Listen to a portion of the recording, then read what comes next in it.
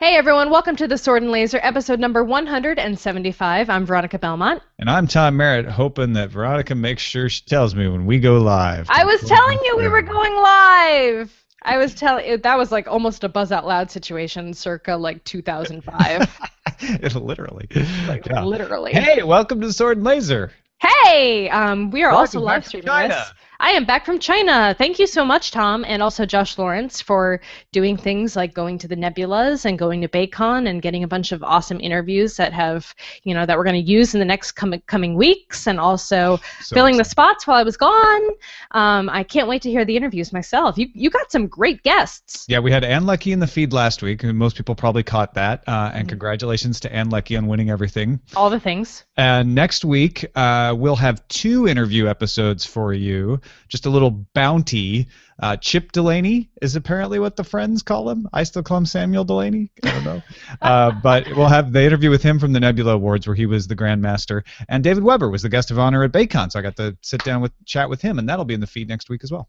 Yeah, I'm really excited for those um, two two greats for sure that you Yeah. that you nabbed for the show. Um, we've been trying to get David Weber on for a while actually, so I'm glad you got him in an Oh, enclosed space. really really nice guy really interesting to talk to uh, and and some amazing stories were told over the course of the weekend you'll get a you'll get a couple samples of those in the interview Fantastic. Um, if you guys are new listeners, uh, Sword and Laser is the science fiction and fantasy podcast, book club, video show, uh, book publisher now, and all sorts of great stuff. We have events all over the country. Um, we do a lot of fun stuff together, and we hope you will enjoy being part of the group. Um, right now, we are just wrapping up The Martian by Andy Weir, which we'll talk about later in the episode. We'll also announce the next book um, for the month of June, so stay tuned for that. But first, uh, what are you drinking, Tom? I am enjoying a smithwick's premium irish ale this afternoon Hmm. Ooh, I am also drinking Like- uh, the beers. I am drinking an Anchor uh, California Lager. Is it, Ah. is it Anchor Steam? It's Anchor Steam, right? Or is Well, it just Anchor? It's steam. It's Are the those Anchor different beers? Does Anchor Steam because it's a steam method of brewing that they use. Oh, I did so I not don't know, know if the that. California Lager is steam brewed or not. It May not be. I don't know as much about beer as many of my contemporaries and friends do. Uh, believe me, and I don't know much about beer at all. I mean, go watch New Brew Thursday or something like that if you want to know about beer. We just drink it. Yeah, my oh my friend um my friend Mike does a does a beer show also, uh, whose name is escaping me, and I feel terrible for not being able to remember it. Just But look they- up Mike Beer Show. You probably find it. You'll find it for sure. All right, well, let's jump right into the quick burns, which is our news of the week. Yes, and uh, thank you to everybody who's been posting more news into the Goodreads forum. We're, we're trying to pull the stuff you want to talk about. Jenny posted the Nebula winners, uh, which, as we mentioned, Ann Leckie won for Ancillary Justice. Yay! Um, best novella was The Weight of Sunrise by Vylar Kaftan. Best novelette, The Waiting Stars, Aliette de Bodard. And best short story, If You Were a Dinosaur, My Love by Rachel Swirsky. Yep, we had her on the video show too, and she's known for her short stories, and it seems as though this one did not disappoint come award season. So I haven't read it yet myself, but um, actually, maybe I did read it. Because I, I think around the time I heard about her short story, I remembered that uh, that poem that I that I wrote uh, back at DragonCon last year about the T Rex. Do you remember? Uh-huh. Yeah, yeah. Um, and I was like, oh, darn, Rachel Swirsky wrote a short story that had dinosaurs I remember it. that. Arrgh. Like, like I had any claim on, on dinosaurs as But a you thing. know, you could you could nip, carve out your own niche in the My own niche of, of angry, sweary dinosaur land of the poems. lost, so to speak. Alright. Oh, and don't forget, uh, we shouldn't forget Alfonso Cuarón won for the Ray Bradbury Award for Outstanding Dramatic Presentation for Gravity. For Gravity, And, yeah. Uh, Sister Mine by Nalo Hopkinson won the Andre Norton Award for Young Adult Science Fiction. Yeah, Okay. Gravity beat out a lot of great stuff, including the Day of the Doctor, the Doctor Who um, episode. Uh, Doctor Who often wins this too. Not too surprising. Yeah. Um, Her by Spike Jonze, uh, The Hunger Games, which, yeah, yeah. kind of surprising that that was in there. Also, Pacific Rim. I'll tell you what surprised me was the uh, thread on Goodreads where people were like, "Yeah, I didn't think Ancillary Justice was going to win." We told you. We already told you a year ago that Ancillary Justice was going to win all the things. Why don't you listen to me? For goodness sake. Because I'm psychic. and I know Also, these things. Veronica totally predicted that Gary Whitta would write a Star Wars movie. I did not. Uh, Gary Whitta uh, is is a dear friend of mine, and um, he is also. Uh, I I first met him uh, when I was working at Future, uh, the the publishing company, and uh, he had been the editor of PC Gamer back in the day, and he has gone on to become a a well renowned screenwriter. He did Book of Eli. He did. Um, after Earth, um, and now he's doing the new Star Wars film, the new standalone Star Wars film. And that is kind of a big deal. It'll be directed by uh, Gareth Edwards, who just directed Godzilla, um, and it's due out in 2016.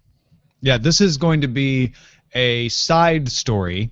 Uh, as you probably know, J.J. Abrams directing Episode Seven, which is in the main canon. But every off year, 2016 in this case, they're going to put out what they're saying are are single character looks. Not that there'll only be one character in the movie, but like the the, the rumor is that it, the first one will be about Boba Fett, and so it'll just be a movie about him. That's kind of exciting. Oh, But Gary you'll have to also wrote um, uh, the Walking Dead video game, Yeah, right. the first season of the Walking Dead We talked game. about that with him on season one of Sword and Laser Video. we did. Gonna go And I'm sorry if I don't know if that audio just got picked up um, on on Audio Hijack, but there was an ad that popped up on PCGamer.com. So if you heard I hear it, something, You know? that's what it was. that yeah, that didn't come over to me, so probably didn't get in there. Sorry about that. Uh, who knows? Maybe. Yeah. Maybe it didn't. Hey, um, the Word Zone uh, pointing out at an event in Santa Fe recently, Ryan Condal said he is working on a pilot script for a TV series based on the lies of Locke Lamora by Scott Lynch. Oh, that is so awesome. I can I really hope this happens because the whole time I was reading The Lives of Locke Lamora, I was like, this should be a show. Like I can totally see this as like a mini series or like, you know, even a full season because there's there's mo- many books now in the Gentleman Bastard series. Um, so I think I think that it makes total sense. The characters are great. They speak in a very modern kind of way that I think will translate well to television. And there's a lot of action, romance, all all that good stuff. If you're wondering, uh, Condal also wrote the script for the new Hercules movie due out in July, starring Dwayne Johnson. Uh, he's working on a pilot for a series called The Sixth Gun, uh, based on the comic books by Cullen Bunn and Brian Hurtt. Uh, when asked about this statement by Condal, Scott Lynch replied, "I can neither confirm nor deny the denial or confirmation uh, confirmation of anything potentially requiring denial or confirmation." Okay. So he's totally happening.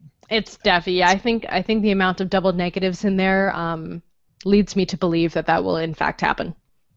SF Signal uh, put up a list of everyone who will lose to Ann Leckie for the John W. Campbell Memorial Award. You're terrible, but yes, that is also probably true. All the people who like Hild out there are shaking their fist at me right now. But uh, Yeah. Oh, there's a a lot good of great group. stuff on here. Yeah, I mean, really I read I read Shaman by Kim Stanley Robinson. It was fantastic. Charles Stross is on there. Dave Eggers is on there. Um, I Alexa haven't gotten around to reading The Circle Berry. yet. What? Proxima by Stephen Baxter. Mm-hmm. Uh, Alastair Reynolds on the Steel Breeze just coming out here in the U.S. It's been out in the UK for a while. So yeah, sorry guys. I mean, I- now I feel like we're just making it difficult for Ann to win anything No, else right, because we're just exactly. jinxing her left and right. She's gonna feel. She's. Gonna, is, do you think she'll feel let down if she doesn't win at this point? I don't think she will though. She's too humble. She's she's awesome and humble, and also probably she's like, maybe other people can win. I, I think I can be okay with that. But also a sweep would be cool too. Yeah. Um. Sad news. competition. Yeah. Yeah, right. in, Yeah, in sadder news, um, H.R. Giger, uh, of course, best known for his work on the Alien film series, who he he created the uh, you know the the look of the xenomorphs that we're so very familiar with. Uh, of course, he's done tons of incredible artwork for many many different projects over the years. Um, he passed away. Very sad news. Um, I learned about that when I was in China, and uh, yeah, he had been not well for a while. Um, to, to to what I remember, so. Oh, he um he passed away in Zurich after suffering injuries sustained in a fall at his home. He was 74. Yeah. Um, always sad to to see a, a great talent like that leave. Uh, but you know, at least not cut down too early. Um, you know, Well, yeah, I mean, 74, lived a pretty good life. his his work will be remembered for for many many years to come. Yeah, Absolutely. totally sad news. Picks. Time for some picks. Uh, this is the segment we introduced uh, a couple episodes ago to take the place of the calendar after getting your your feedback, uh, where we talk about other things that we're reading besides the monthly Sword and Laser pick, as well as get some some stuff from you guys sometimes. So, by all means, in the what else you're are you reading section, uh, put in your suggestions. I am finally I'm embarrassed to say I've been reading this for more than a year now. Finally, getting towards the end of Zoe's Tale by John Scalzi. Um, it's been my third book. Like I'm always reading the Sword and Laser pick, and then there's always seems to have been something that had to come up. Like I had to read a David Weber book before I interviewed David Weber, you know, to kind of mm-hmm. get his voice mm-hmm. in my head. Stuff like that has been coming up. Then Republic of Thieves by Scott Lynch. I'm like, I have to read that. So I'm finally bearing down here and um, getting ready to finish Zoe's Tale. And I'm really impressed as I get near the end of the book where you where she meets the Consu and she goes uh, to the general away from the part that happens in the book that it's based on. Because if you don't know, it's a mirror uh, of. Um, and now I'm blanking on the, the name of the book that it's the mirror of. Um, it's the but it, it's the one where they're on the colony. Um, I'm boring, Veronica. Mm, I'm sorry. sorry. But anyway, God. it's it's a it's a retelling of a, of a book that he's already written, right?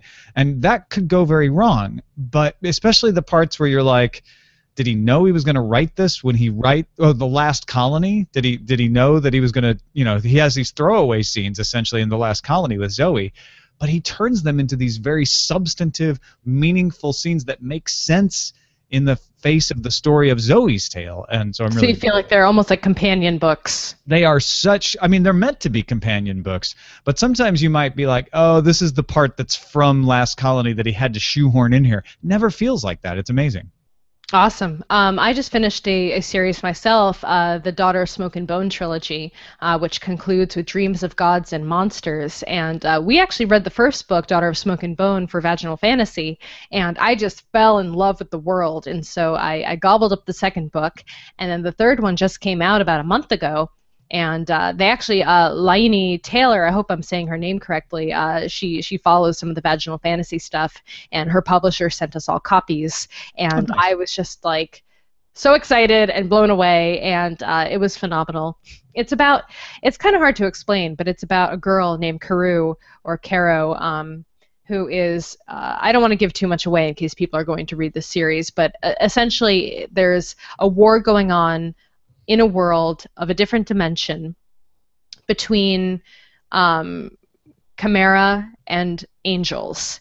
And that war starts spilling over into onto Earth, and so it's about the relationships between these two different sides, um, who are also very human, and it's you know there's magic and there's fighting and there's romance and it's it's all very epic and it takes place in, in modern times. Um, and I, I loved the series and I, I found the conclusion to be very satisfying as well. Um, so I think if, if you're into that kind of stuff if you like a strong female character also um, main character this is definitely a great trilogy for you We'll put links to both of those in the show notes at swordandlaser.com. Uh, now, the whole calendar, swordandlaser.com slash calendar, is still there if you want to see everything that's coming out. Just a couple highlights. Today, Skin Game, the Dresden Files novel by Jim Butcher, is out, as well as Thief's Magic by Trudi Canavan, who we've previously interviewed on the show mm-hmm. as well. Yeah, I'm excited. I, I still have got to get caught up on the Dresden Files. Um, I haven't read Cold Days yet. I think I'm like maybe a book or two behind that one. Um, so I've got I've got some catching up to do, but I really want to get there because everyone talks about spoilers on the internet, and I feel like I'm really mm-hmm. I'm missing out on the series right now. Wah wah. And do you want to tell them what's coming out June third? Sure, we've got The Long Childhood LP, a novel by Terry Pratchett and Stephen Baxter. Uh, we also have On the Steel Breeze, Poseidon's Children by Alastair Reynolds, and Shield and Crocus by Michael R. Underwood, who we just had on the show. Um, sounds like a really interesting book. I'm, I'm excited to pick that one up as well. Yeah, I'm excited about On the Steel Breeze. I, I should when when the first one, Blue Remembered Earth, came out, I actually ordered the UK version of it uh, because I didn't want to wait. But this time I've actually had such a long reading list that it was good. I was like, I'll just wait for the U.S. release. So this is I got to finish up Zoe's Tale so I can get to On the Steel Breeze now. Ah. Well, listeners, uh, as you heard on the last episode, you can help Sword and Laser out by completing a short anonymous survey. It will take you no more than five minutes. That's if you're slow. That's if you're plotting. It'll take you five minutes. It'll probably take you less than that. And your answers help match our show with advertisers that best fit the sensibilities of our podcast and you, the actual listeners. So complete the survey, and you will be entered in an ongoing monthly raffle to win a $100 Amazon gift card, which Mm. could buy you many ebooks. I'm just Yes. uh, we will not share or sell your email address. We promise. Uh, we won't send your email uh, anything unless you win. Then we'll send you the thing saying, "Hey, guess what? You won." You probably want to get that email. So go to www.podsurvey.com slash laser.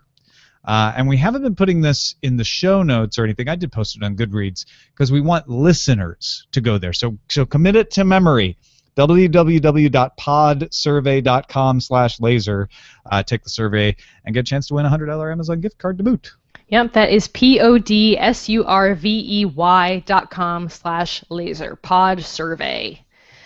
And I've been looking at some of the results, and they're very fascinating. fascinating veronica Very fascinating, Captain. Fascinating. All right, it's time for Barrier Sword, which is our feedback from the audience.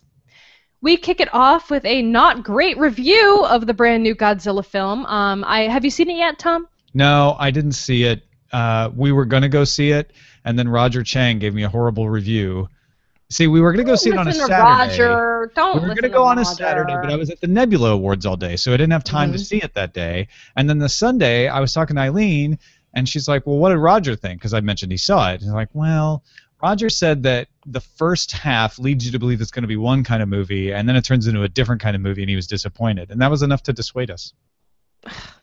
It's giant monsters fighting each other, Tom. Just go Is see it it. as good as Pacific Rim in that respect, in the giant monsters fighting each other respect? Because I love Pacific Rim only for the battles. I didn't care about Not the plot holes. Mm, I'm going to say not as good as Pacific Rim in terms of the Mm. battles. Pacific Rim was pretty epic in that Yeah. regard. But anyway, we're talking about Trike here, not us.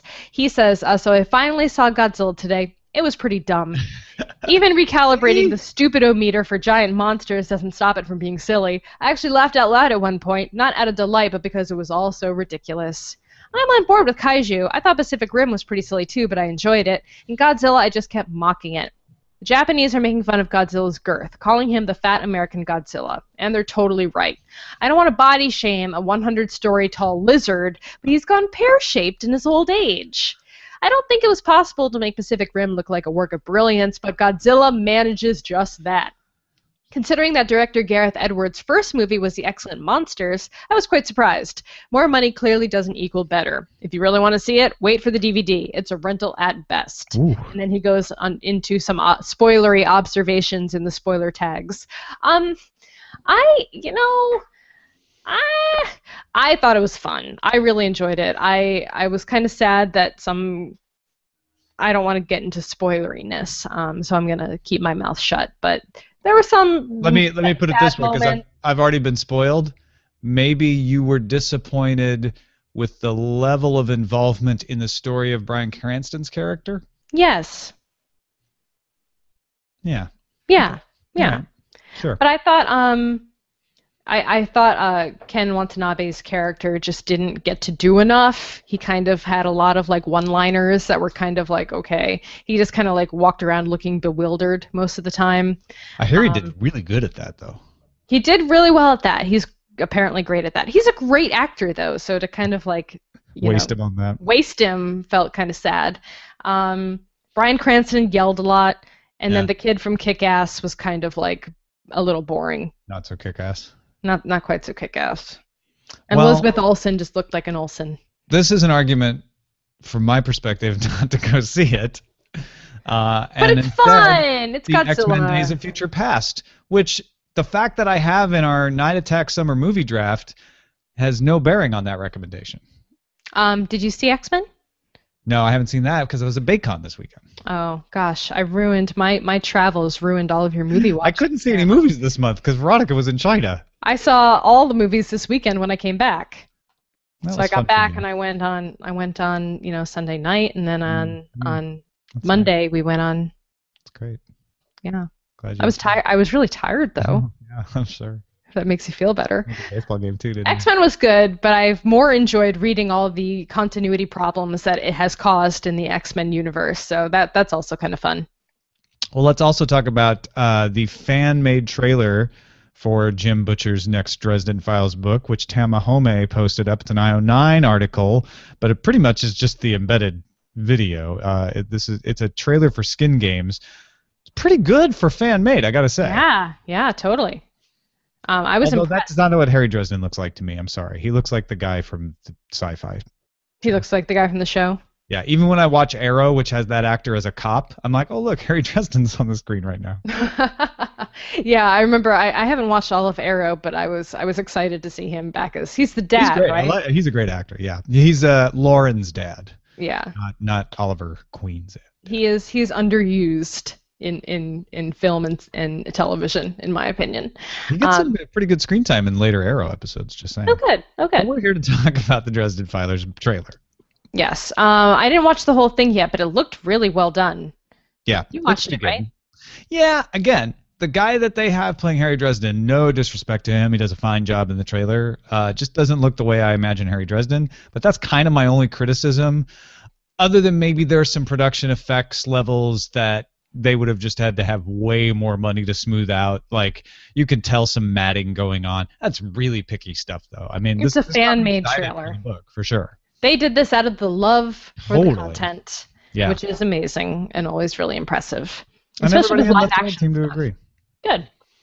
Um, well, I guess we should move on to our discussion of this month's book pick, uh, The Martian by Andy Well, Weir. Before we start- do do you wanna that, talk about June first? Shut off to avoid spoilers, because remember we're keeping the discussion to the end of the show now, so that if you don't want to be spoiled, you can just. I know we decided all these things, and then I don't remember all the things we decided. Um, I went to well, China. My brain No, was erased. This is this is book discussion time. I just want to let people know about what the next book will be before we get into spoilers. Okay, the next book.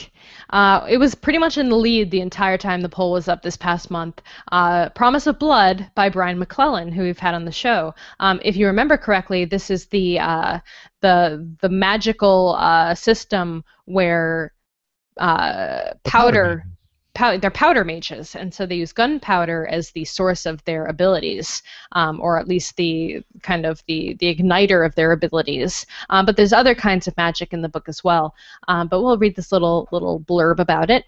Uh, Field Marshal Thomas's coup against his king sent corrupt aristocrats to the guillotine and brought bread to the starving, but it also provoked a war with the Nine Nations, internal attacks by royalist fanatics, and the greedy to scramble for money and power by Thomas's supposed allies, the church, workers' unions, and mercenary forces. Yeah, uh, this is I've I've been already reading this because Hounded by Kevin Hearne was right on the heels Which we've both read. was hounding uh, Promise of Blood the whole way through the month, and it, it could have jumped in front at any point. And it we should definitely read Hounded by Kevin Hearne at some point as a book. Yeah. pick. It's really good. But I went ahead and started reading Promise of Blood by Brian McClellan using the audiobook. Fantastic narrator there. And really am sucked into what is a three perspective story, which is sometimes hard to pull off, but he does it well.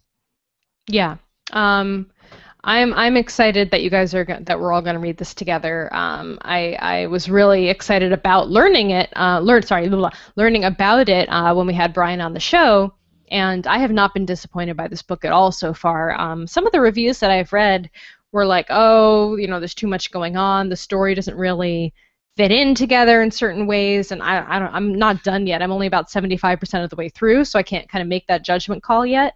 Um, but I, I've been enjoying it. I'm about the same way through myself, and I have to say it feels like the first book in a long planned series. hmm So there are subplots that are going to resolve themselves, you can tell, and there are major plots, especially uh, regarding Taniel uh, and uh, and regarding uh, Thomas's uh, relationship with Taniel, uh, and as and as well as the investigator, and now his his name is And, This- and Yeah. Adarac. Uh, Adamus. are you reading it or listening to it? I'm listening to it. Oh, Um, so, so they say Tomas, yeah, but Toma- it's T A M A S. Camus, I think. Camus. Anyway, there are there are those overarching storylines that you can tell are not going to be resolved hmm uh, before the end of this book. So that is something to keep in mind. Is you are not going if you're one of those people like I want to feel all resolved by the end of this. You're not. Like this is this is part of a larger series, and it and it feels that way. hmm Also, a warning: if you're going out to get the print version, you may not want to buy it at Amazon. Uh, because Hachette and Amazon are having a little cat fight over who gets to pay who how much money to carry their books. Uh, it doesn't affect the ebooks or the audio books, but it does affect the print book shipping. Amazon's kind of being snitty about it and like delaying shipping and stuff. Uh, so we'll have a link to the pals.com uh, listing for this as well on the show notes. So you, if you want to order the print book that way, or just get it from your library or something like that. Yeah, um, I, I heard a little bit about that uh, on Twitter while I was in China, uh, you know, tunneling in through a VPN, um, but I didn't follow up on the story, so you'll I'll have to look look up all that drama uh, after the show. Drama. The drama, dramarama. Um, but yeah, let's take the time now to wrap up The Martian by Andy Weir. So get away, spoiler averse people. Yeah, if you don't want spoilers, now is the time to GTFO. Um, so, The Martian. Uh, do you want to talk about our thoughts first, and then and then read the comments from the forums? Sure, I adored it. Yeah. Um, for many of the reasons that people stated that they didn't like it, I adored it. I love the constant peril. It is a, a favorite story of mine. The uh, post-apocalyptic scenario, or uh, or or basically abandonment, uh, certain death scenario. I love those. So I, I, I'll, I'll fully admit up front, like this is my kind of story. Guy abandoned on Mars, facing certain death around every corner. Absolutely adore that. I loved that Tom Hanks movie uh, where he was abandoned on the island for the same reason. Castaway. Lost, yeah. Uh, so I'm prone to liking it, but I love the fact that Andy Weir made a serious attempt to get the science right, and we'll talk Mhm. about how close he got in a little bit. Uh, but he got closer than a lot of people would, and he uh, and he had a likable character to me. Right, uh, it's a character that was believable and saying things that were funny and having real human reactions uh, to stuff rather than being some kind of cold calculating uh, mission scientist type and and you needed that or else the story was not going to work so i thought he, he struck that balance really well i was a little bit not disappointed but i kind of saw the way that it ended coming i'm like oh Mm. he's not gonna he's not gonna show us the homecoming he's just gonna leave us you know on on the way and and that's what he did and i don't know if he's doing that on purpose to show us that homecoming later. Uh, but I re- that's my one regret is I really wanted to see him back on Earth. Uh, I, I want I want to see that e- even if it's not in this book, maybe in another book sometime. Did you want that payoff? Yeah, because he kn- I mean, you knew he was going to survive. That's always the thing with these books. Like most of the time, 99% of the time they survive. And part of the fun is going through the trial and then seeing Sandra Bullock lay down on the, you know, on the ground on the earth at the end of gravity and and you know, maybe that's a spoiler for people, but come on, you had to guess that. Um being able to see like, oh, okay, this this is what we've been cheering for the whole time. I mean, we want this. You get that because he does get back to the to the ship, right? He does make it onto the ship in orbit, and I guess Yeah, that's supposed still a far way out. you Yeah. know, there's, there's, still so much peril to come. But that's I guess Just that that's a whole other story to tell, and maybe he's reserving that. Yeah, maybe that maybe that is coming. Uh, who knows? Um, we should have asked him that maybe when we interviewed him, but we hadn't read the book at the time. He wouldn't have told us. He'd been like, I don't know. Maybe I will. Maybe I won't. Yeah. Um, I also I also really loved the book. Um, I loved I loved the main character, um, uh, Watley. Watley, right? I've already moved on to the next book, so I'm already starting to yeah, Wa- Watney, Watney. Um, Yes, with an N. Yes, Watney. Um, I get the peril thing. I was sensing that already before I even saw the forum thread about it. I was like, like I understand you're on Mars, but geez, everything is is it's literally life or death at every turn. And I was starting to get like a little every time things would calm down. I'm like, all right, the next entry is gonna be like him. you know, he's blowing out the hab, Oh, have or something. You know, something's gone terribly, terribly wrong. Uh, and and inevitably it would um, people were commenting too about how it was uh, weird that you know even though he had a giant wound in his side, uh, he just took a few painkillers and antibiotics. And my dog is trying to break out of her kennel. We're puppy sitting a new dog, and she doesn't know really how to um, behave herself like Lie for down over more there. than 10 minutes. I can't I couldn't put her in a down and just hope for the best. Um, so she's in the kennel during the show, uh, but she's trying to break free because it's her dinner time. Uh, so we got to wrap this up. Um, what was I talking about? Oh, so he got injured, and then he just kind of took some antibiotics and painkillers, and we never really heard about the injury that much again. Um, so you know, apparently magically he was able to to heal thyself, um, gave himself stitches, and just went on his merry way. Uh, so stuff like that was a little bit unbelievable. But I guess if you're as smart as you would have to be to be a, an engineer going to Mars, then you probably know how to do things like that.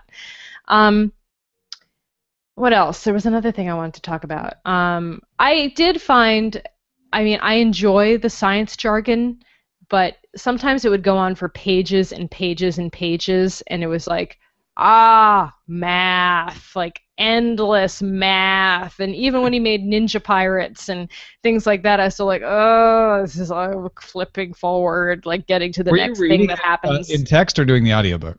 Text. Yeah, I can see that being different. That uh, being a totally different experience than having it told to you. It was very dense. Yeah. Um, and you know, I'm a nerd. I love that kind of stuff. It was just like it was a little bit too much. It was almost like, okay, we get it. You did the research. Like, okay, good job. You know the math. I just don't Well, want to have to. that's what I mean. Like in the audiobook, you could just sort of be like, "Oh, okay, so I think I'm kind of following this. He's telling me," and you don't have to work at it it. as much when it's being told to you than when you have to read it and interpret it for some reason. Yeah. I was also kind of relieved that we changed point of views. Um, I was getting a little concerned that the singular journalistic journal Mhm. point of view would become a little tiring after a while. Um, I was like, wow, we've got a lot of time to fill here. That's a lot of stuff he has to talk about. But then we switched to to the NASA JPL point perspective and some other like third party perspectives, and that that made it a little easier. When he got a little wonky when he was doing the the uh, JPL side stuff too, uh, I didn't feel like it got too political, but I was glad he didn't ignore that, and and he brought the the bureaucratic side of it in, and what would happen with, you know, what the Mhm. government's going to do, and with totally different motivations than just bringing the mission home. Right. The PR the PR character served very well in sort of expressing that realpolitik perspective. Yeah, she was pretty funny. Um, also, I had just flown into Beijing as I was reading the section where they're flying into Beijing. Oh really? Yeah, so I was like, Wow. yeah, I just did that 14-hour flight. Like, oh, I, actually, I flew into Hong Kong and then from Hong Kong flew into Beijing, so I'd done it like two days before. Mhm. Um, but it was still still kind of funny. I'm like reading about the Chinese space program and learning about that, and and then I started kind of wondering like, how true is all that? Like, Yeah. I'm in China. I wish there was a way I could find She out, laughed. but that's highly unlikely. yes, random American woman, let's tell you our space secrets. So how many spaces asked. do you have? Huh? You know, round. Just ask people like how many. You know, round round number. Doesn't have to be exact. Do you have a lander I could borrow? So For any reason? hypothetically, if I needed a lander, yeah, you guys would just give us that, you right? up. We'll send. We'll we'll stick one of your guys on Mars. Don't worry, Yeah. it'll happen. It'll happen. Um, but o- otherwise, I loved uh, Watney's voice. I thought he was very funny. There are a couple little like homophobic jokes maybe that I thought were a little out of place. I don't remember those. There's like Um, one or two, and I was like, "Hmm, okay, I, like it was funny, but like maybe not necessary. Um, but then he's a character, so maybe well, that's yeah, how his character that- is. maybe he's trying to capture that kind of personality as well. Yeah, so I, I'm not sure. Um, but I, I I liked it. I liked his letters to the fellow astronauts uh, or Mhm. cosmonauts, um, kind of telling them like, just go for it. You know you like her. It was a really interesting way of developing the characters of his fellow team members through Mm-hmm. his eyes, right? I liked that as well. Because it, you don't have a lot of opportunities to develop these characters because they're not there. And, and you don't want to go to their POV a lot because there's no motivation for it, especially in the early parts of the novel. Right. Um, and I did like. Um, I, I I just realized my face was clicked in this video. I hope I wasn't on myself for this entire podcast. That'd be really irritating. Audio people watching. will never notice. They'll never know. They'll never know. If you just want to see my face for 45 minutes, check out the YouTube video. Um, anyway, um, I thought the book was great, uh, especially for you know a first-time novelist. It was it was very impressive, and all all the accolades he's receiving, I think, are well deserved, and uh, I can't wait to see what he does next, whether it's in this universe or or something else. Now, Eric on our uh, Goodreads forum was having a little peril overload. Uh, just finished Wool right before The Martian. uh, he says, "Don't get me wrong, both of these books were amazing. Just so much peril. Looking for something to read now in either the sword or laser genre that is light, a little lighter on the peril front." And mm. uh, Terp Kristen agreed. Uh, a few other people chimed in as well, uh, saying that.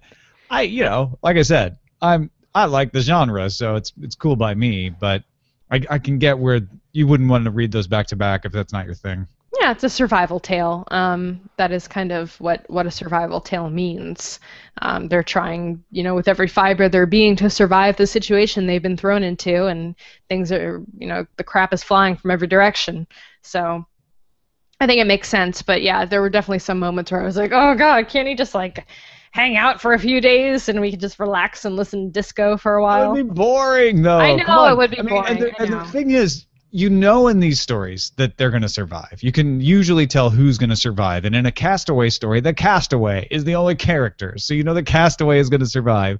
So to me, it's like, well, you well, would it be more interesting for him not to survive? Well, I mean, okay. If, like he didn't at the last minute, he didn't make it, and all the journals and, were actually recovered from the have or yes, the have. you can do that, but it's it's a cheat to some people who are like, what? He didn't survive, and they're going to be even angrier about that. I'm not saying it's the wrong way to go, but like the idea of the peril and then the guy dies at the end is even darker. And I, you're totally right. That Grim that dark, is a direction Tom. you can go. Grim dark survival. it's Castaway Dark. Cast a dark. Castaway. Cast. Dark away. Dark Um, away. But given the fact that most of the time they do survive, you want that peril because otherwise you're just going to get bored, going like, "Well, I know, I know he's going to make it out of here," and he's just. But if you know they're gonna, well, but yeah, but if you know they're gonna survive, then the peril isn't really peril. No, but it's a have to mystery story at that point, right? Which is like, okay, pretty sure he's going to survive. So how the hell is he going to make it out of this? Because it seems like he couldn't make it out of it. But he had a magic solution for everything. He had a magic But you didn't know what math it was. solution for everything, and it always came real a little bit too easy. I think. I didn't think it came too easy. he was like, "I'm gonna need a way to figure this thing out," and then the next chapter, he's like, "I solved it. I figured it out." he never was that easy yes. though. Yes. It was always like, well, I think this might work, but I don't know. And of course it worked.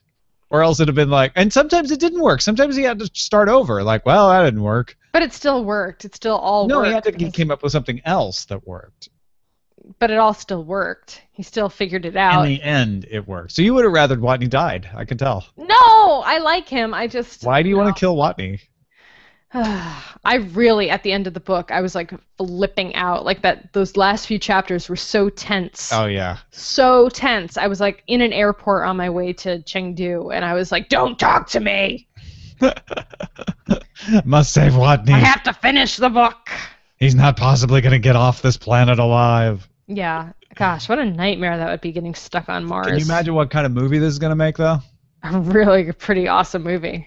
Tamahome uh, posted, I think the funny parts would play well in a movie, but explaining all the science might be difficult. Although she points out, or he points out, well, I'm sorry, Tamahome. Why do you guess- always call Tamahome a girl? Apollo a 13 pulled it off. He's a Uh, boy.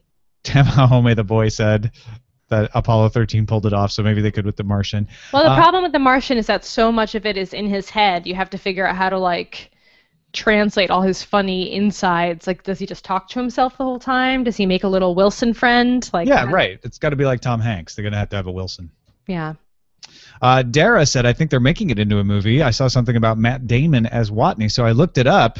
And yes, as a matter of fact, the Hollywood Reporter says that Ridley Scott is in negotiations to direct Matt Damon in The Martian. So it'd be Oh, a Ridley oh, shit, Scott oh, movie shit. too. That'd be pretty awesome. Yeah. Um, I like Matt Damon. Though I mm-hmm. liked also mm-hmm. people were talking in the forum. I'm Matt Damon. Mm-hmm. Uh, people in the forums were talking about like we don't really know Mark Watney's race or like what he like. We kind of have. I I don't think they ever say if he's if he's a white guy because people are saying oh another you know white guy in peril figures it out using like it would have been nice if there was a little more mixed race. Yeah, Robert Dale's like roles. Danny Glover as Watney. He's got geek cred. He's got incredible comic timing. He's too old. He's about the right age now. no. Oh. and he has a great Donald dramatic Glover, range. not Danny Glover. No, Danny Glover, not Donald Glover. right. The young Whoever- one. Whoever the younger one Also a rapper. Even if you just pay attention to his sitcom work. I oh Um, yeah, he's on Community. I'm I'm hip to the cool guys. I totally yeah, know not Danny Glover, the 67-year-old, as Michelle points out.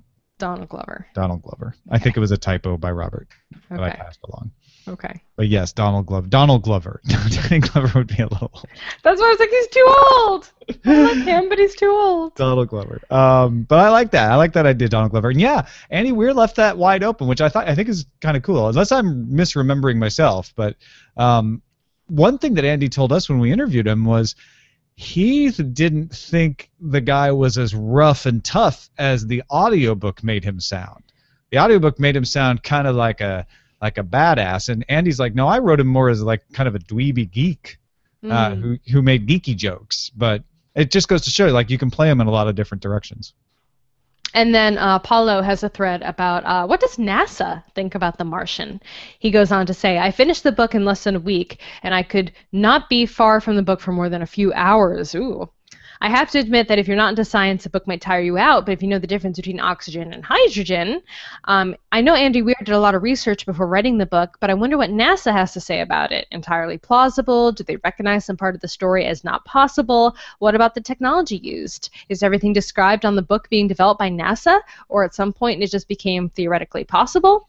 Um, have anyone found any interviews where NASA commented on the story, or even better, do we have a NASA employee within the ranks of our humble book club? We didn't have a NASA employee. We have a Terp Kristen. aerospace engineer. Yeah, Terp Kristen um, kind of blew this thing out of the water. Uh, I'm not going to read her entire post because it is uh, quite long, but she answers a lot of the points um, that Paulo asked about um, and and uh, discussions from other podcasts uh, and from our interview with Andy. Uh, apparently, Commander Chris uh, Hadfield also read the book and really liked it, um, but but she kind of had issues with like the radiation, for example, some some technical parts with the uh, the convenience uh, of the uh, EVA suit, the uh, EVA suit. Um, so yeah, there was there was stuff she had comments on as a as an aerospace engineer, um, and she's done some work for human mission related stuff, and also works in a laboratory or worked in a laboratory uh, where she got to do tons of uh, astronaut type things, um, including using spacesuit gloves and working in a spacesuit.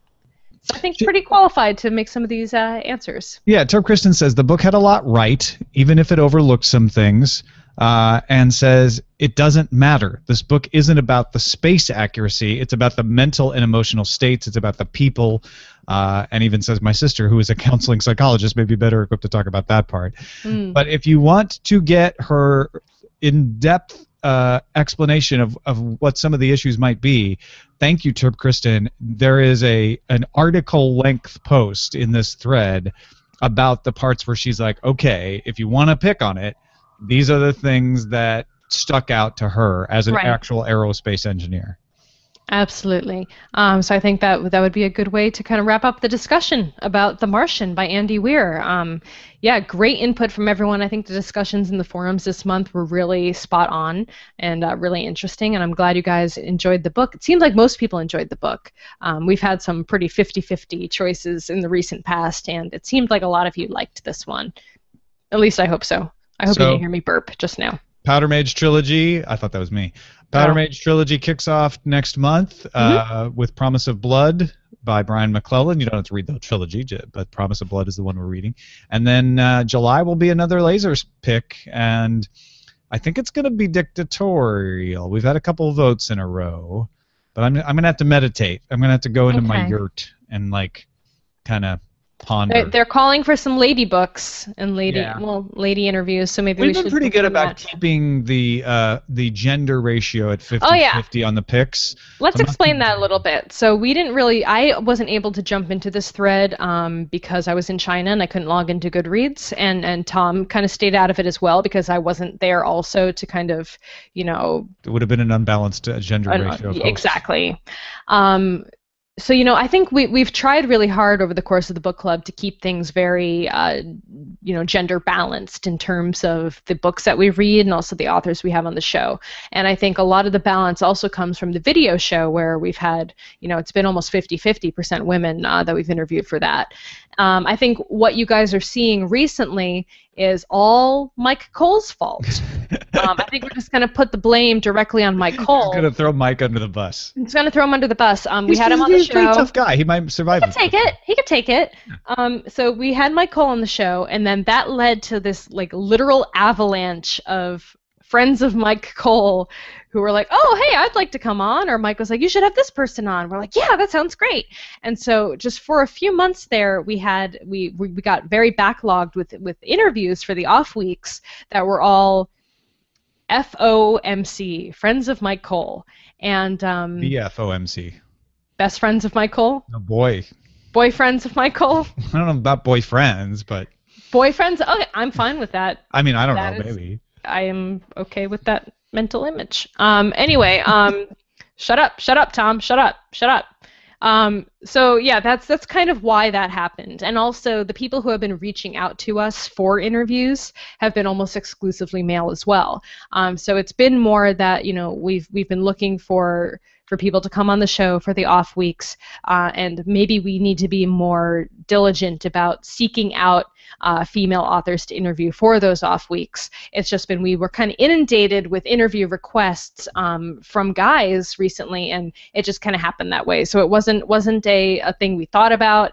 It just kind of was a thing that happened to us, and we loved having all the interviews we had. But yes, we recognize that there has been a, a gender imbalance in the off week interviews of, of late. So we'll we'll definitely try to get more female authors on the show because we know that's really important to you. It's important to me as well. Um, it's just been yeah it, it kind of the numbers just happened that way it was it was in no way uh, you know premeditated in any sense The species balance, on the other hand, is entirely intentional. We only really want to interview humans. um, i would interview a dog if a dog wanted to talk to me about if books dog could talk about its writing, totally would do it. yeah Yeah. be okay or, or chimps if, if chimps are writing books on their 100 typewriters No. i would interview the chimps Chimps are kind of mean and aggressive when they hunt. I was just reading. you've been seeing too many previews for no, no, I was reading this in Scientific American. movie oh yeah Yeah. you know There's who's nice certain- Who? pandas Don't rub the panda in my face. Oh, I'd rub I a panda belly in my face. rub a motorboat a panda belly. Ah, That's I would have gotten kicked out of the country if I had done that. Pretty sure. Yeah, I pet a panda. It was awesome. Yeah, I Um, know. I saw the picture. I know. Most people did.